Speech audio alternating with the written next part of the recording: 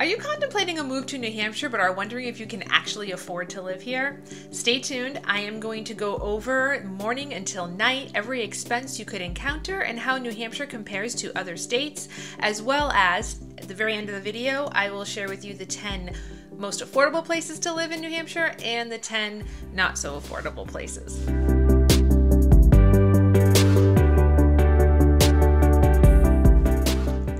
First time here, my name is Jen Bear and I am a realtor and ballroom dance instructor here in New Hampshire. But most importantly, I am a lifelong resident. I grew up, graduated high school, college, had my first job, and I'm now raising a family living in an antique brick home. If you are looking for inside information on New Hampshire, then make sure you hit that subscribe button so that I can share everything that I know with you. So what do you think? Is living in New Hampshire and New England going to be more expensive or less expensive than the national average? Join me on a journey next in which I go from sunup to sundown and every kind of expense you can encounter during your day and how New Hampshire compares to the rest of the country. First, we're going to start our day by heading out to our vehicle. So, how much does it cost to own a car here in New Hampshire? Well, comparatively to the rest of the United States, according to insurance.com, over a five year period, New Hampshire was ranked the cheapest place to own a car. Uh, they took into consideration a number of things. One was um, we have no sales tax. So, the initial purchase of a vehicle, there are no extra fees on top of that. Um, two, they took into account the fact that we don't have mandated auto insurance laws, so you don't have to have car insurance, but you should. Uh, but because we don't have minimum, uh, car insurance companies can be competitive with each other, and we are actually the sixth lowest in the country for car insurance rates. They also took into account how far away the amenities that we need are in our lives. So even though we might have we usually stay right around the average for gas prices in the United States because we live so close to the places, and we're not a huge state. Um, if you're going to go to work, uh, grocery store, doctor office, anything like that, takes into an account how far away those things are. Um, because if you live somewhere where they do have a low gas price, but you have to drive double the amount of miles to get somewhere, uh, it, it evens out for some place with a national average gas price but shorter distances. And also car registration. Uh, we have one time a year you have to go and renew your car registration. It does take the state and town at once. Uh, you also have to get your car inspected. So it does seem to be like a big hit all at once um, on your birthday month, of course. Uh, but when I figured it out by um, how much we'd pay a month versus like a year, uh, it, it, worked out that my car, which is older, only comes out to like $10 a month. My husband's closer to $30 a month. His car's newer. So you can always go online. There are calculators to figure out um, how much your car registration is going to be for your car, depending on the town you're living in. So, next, you're driving to work, but you have a child that you need to drop off at daycare. How does New Hampshire compare with daycare across the country?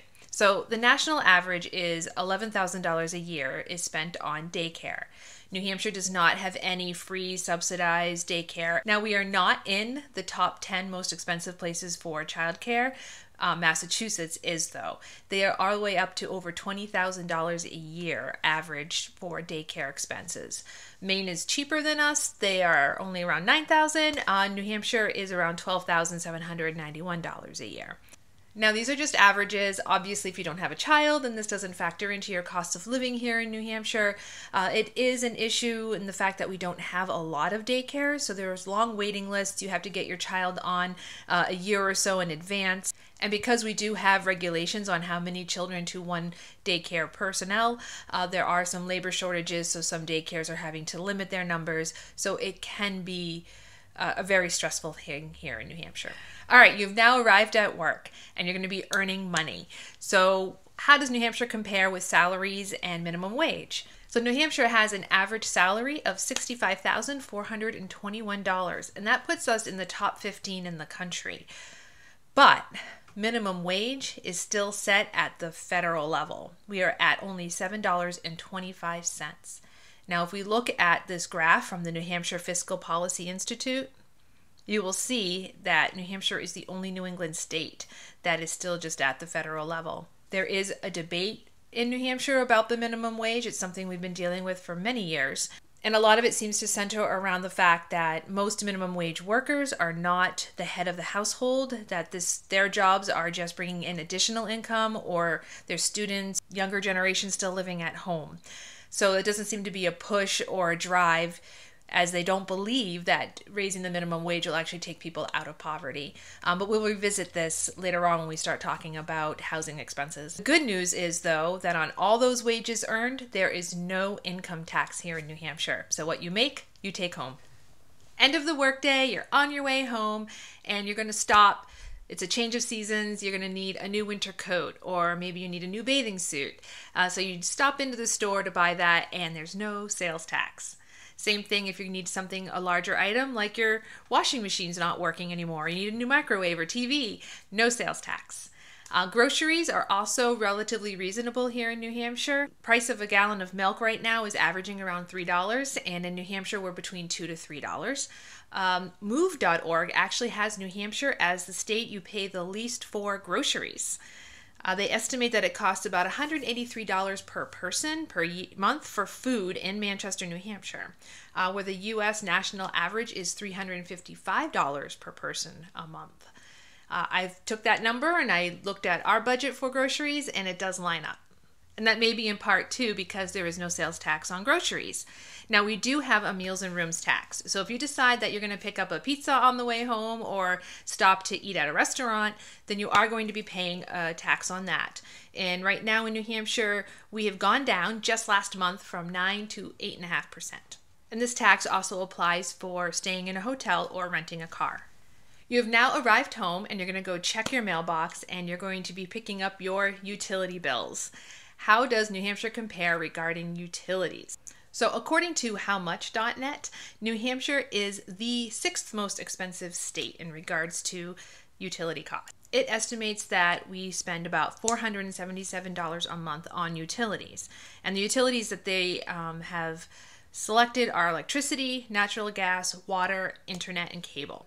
New Hampshire is the sixth most expensive, Massachusetts is eight, Vermont is nine and Maine is 10. So New England is an expensive place to live in regards to your utility costs.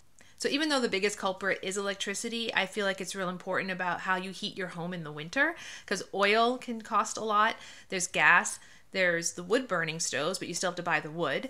Uh, and then even if you have a pellet stove, that requires electricity to start up. So I feel like that is a huge utility cost. Whereas water, may not necessarily be. Or a lot of properties have private wells, so even though you're not paying for the water service, you still have to pay to maintain that well um, or any kind of filtration system. Also, in your bills may be a doctor bill. So, how does healthcare stack up against the rest of the country? Well, according to the worldpopulationreview.com, New Hampshire is $7,214 per person per year, which is below the national average of 7,893. So, even though insurance may cover a majority of these costs or a partial part of these costs, uh, it can still be a financial burden to keep in mind.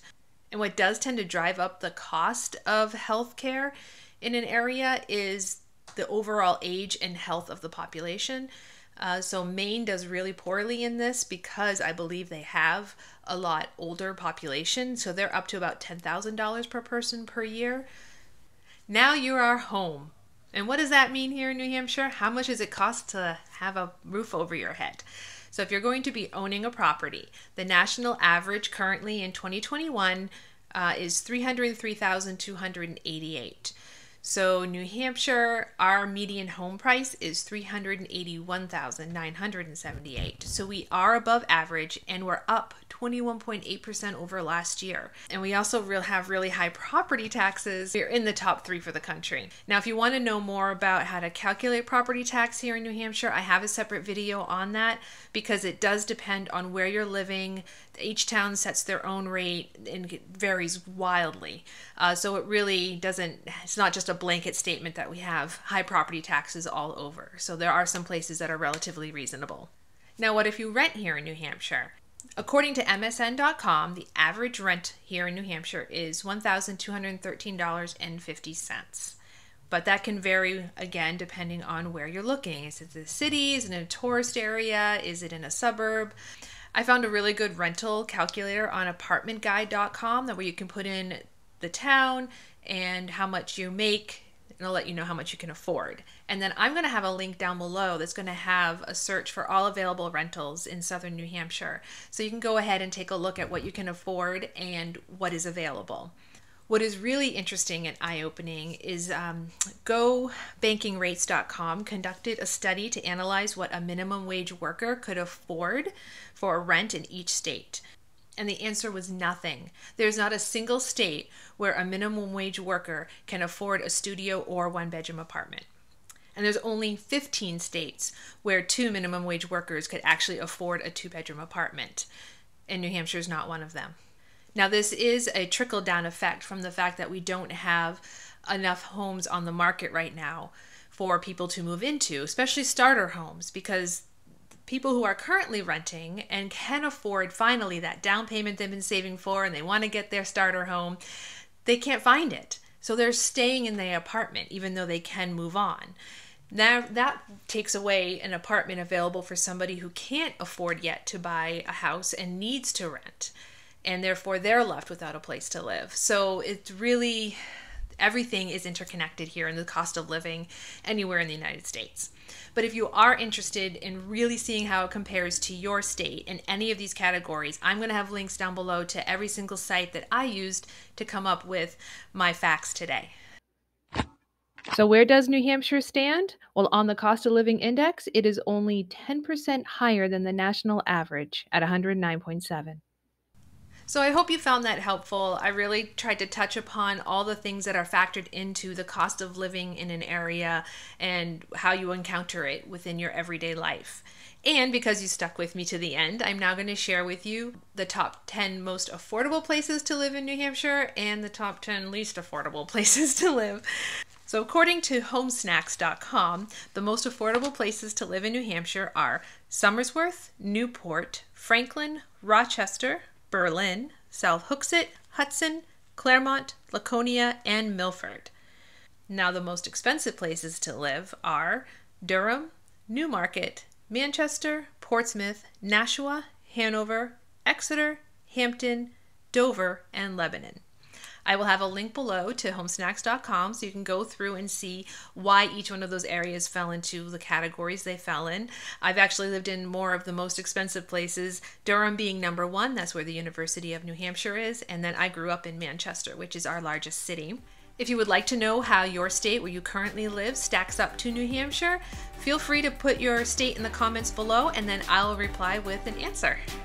If you are looking for more information on New Hampshire, then check out my New Hampshire information playlist in which I have a number of videos discussing topics just like this today. And if you do want to see more videos like this, um, please give me a thumbs up. That way I will know to make them. I hope you all have a wonderful week. Hustle on, my friends, and I'll see you next time.